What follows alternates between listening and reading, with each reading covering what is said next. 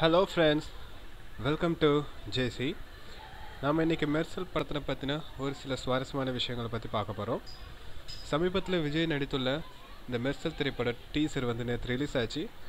அது பார்த்திங்கன்னா நல்ல வரவேற்பும் சூப்பராக போய்கிட்டு இருக்கு.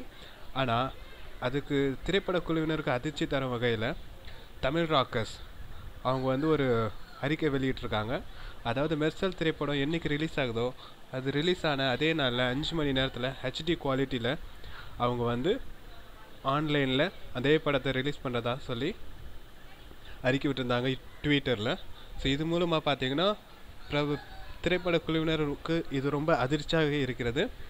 ஏன்னா ஏற்கனவே நமக்கு தமிழ் ராக்கர்ஸை பற்றி தெரியும். அவங்க வந்து ஒரு விஷயத்தை செய்ய போகிறாங்கன்னா அது முன்னாடியே சொல்லிட்டு தான் செய்வாங்க.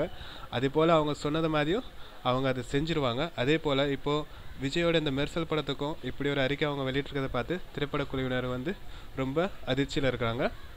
மேலும் உங்களுக்கு இது போன்ற தகவல் தெரிய ஜேசி இந்த சேனலை சப்ஸ்கிரைப் பண்ணுங்கள் பக்கத்தில் இருக்க பெல் பட்டனும் அமுக்குங்க. உங்களுக்கு உடனுக்குடன் தகவல் தெரிஞ்சுக்கலாம்.